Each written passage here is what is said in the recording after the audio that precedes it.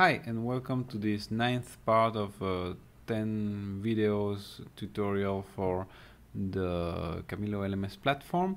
My name is Yannick and I'm gonna talk in this version, this volume of the tutorial about the tips that you can use for advanced configuration. So this is something that is very specific uh, to, to many cases that we've seen, um, uh, very specific to many cases, uh, very specific to large institutions that use the portal. So uh, the first thing is that many people believe that Chamilo, because it's not very, uh, it's not as popular as Moodle, for example, cannot manage uh, very big size of, of portals. So just to give you an example, at the moment we have a, a portal that has 680,000 users registered um, that, that is actively used and it's very light and, and, and we have had no issues of, uh, of, of slugginess or anything like that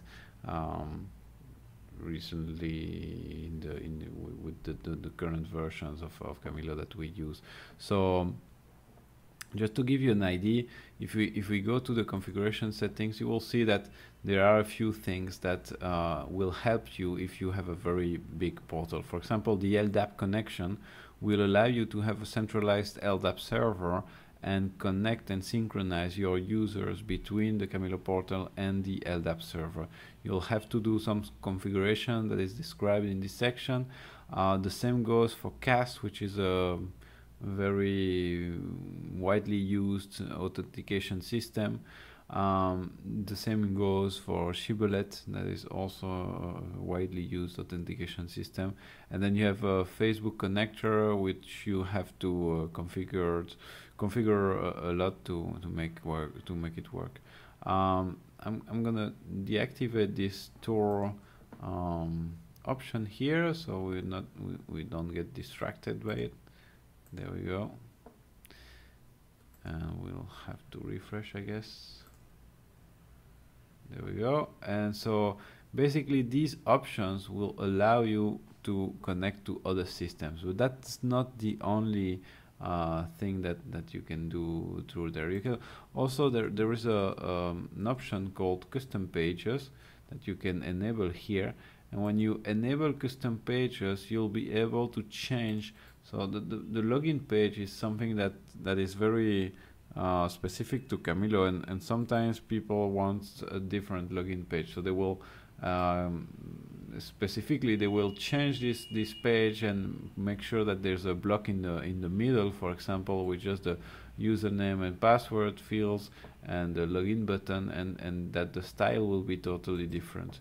So in these cases they can use the um, they can use the custom pages and they will be able to configure these pages. But these these imply a, a little bit of development to um, to make it work. So you'll have to read the documentation that is in the in the options when you enable the option to uh, sorry custom pages. Uh, you'll have to check what what it allows you to do. Um, then you have uh, uh if, if that isn't enough, you have web services. So this is something that's not directly accessible from the, the Chamilo interface, but if you go to do your URL and type in the URL, you type main web services, main web services. I'm going to type it below in a moment. Registration.soap.php this is the kind of uh, page that you'll get. So what I did here is basically on my installation I typed this in the in the URL so I, I finished my Chamilo installation slash main slash web services. You can find it in the in the folders of your PHP application on the server if you if you would like.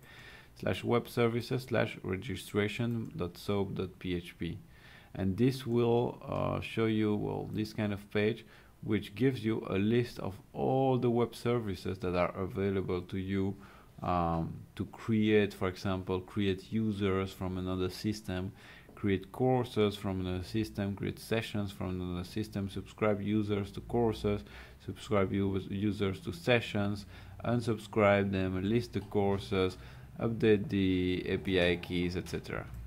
So this is just another option to uh, connect Chamilo to another system. Now, if you want to, there are also optimization features that uh, you might want to to to to configure.